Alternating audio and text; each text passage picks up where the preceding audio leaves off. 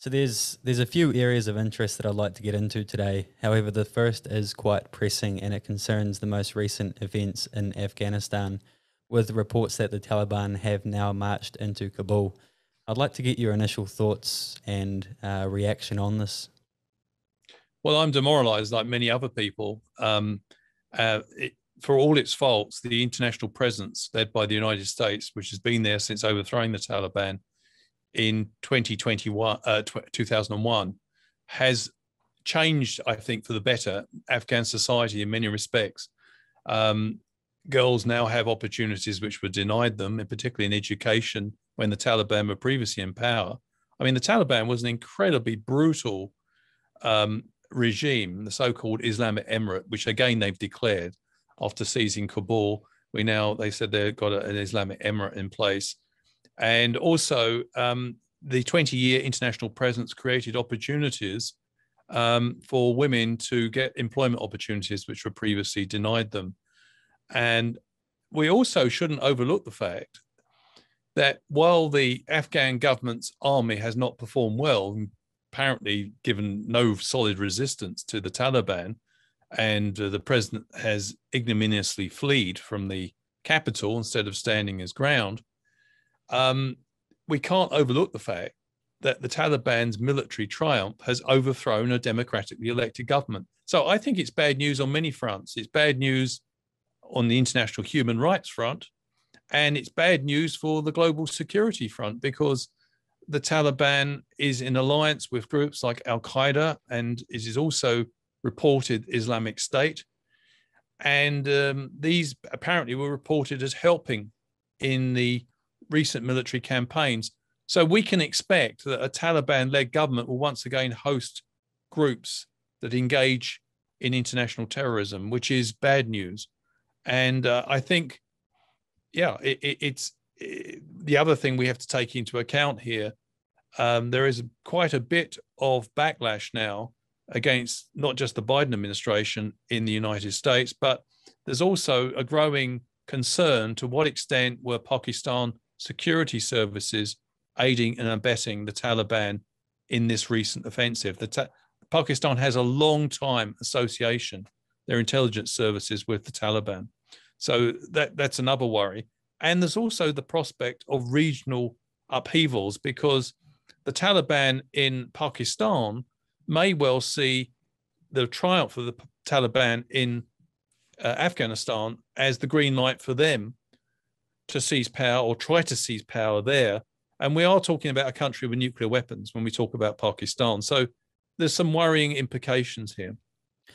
How does an international involvement that spans the better part of 20 years uh, so abruptly come to an end within the space of, of, of, of a week or two? How, how, does this happen so fast? Well, I, I, don't think it's happened quite in a week or two. Um, in many respects, if you want to look at the resurgence of the Taliban, you have to look back, I, I, think, Sam, to the decision of 2003 when the Bush administration decided to invade Iraq. They directly transferred troops from Iraq, uh, from Afghanistan to Iraq, and they were totally preoccupied with Iraq. Now, at that stage, the Taliban were on the ropes in 2003. They'd been overthrown and largely dispersed but they were able to regroup. Um, these Taliban fighters are very dedicated. They have a very, if you like, fundamentalist understanding of Islam, which is pretty intolerant, by the way, if you're not a believer.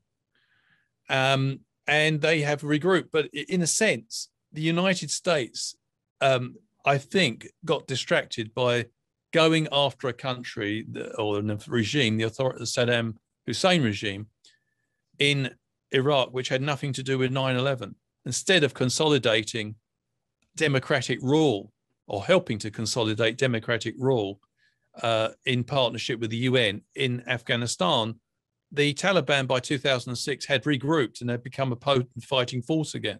So there were some mistakes made there on the tactical level. Um, nevertheless, your point, your question is a good one. I mean, the, the United States has pumped in more than $80 billion and there's been NATO, there been other Western countries, not just the United States on its own.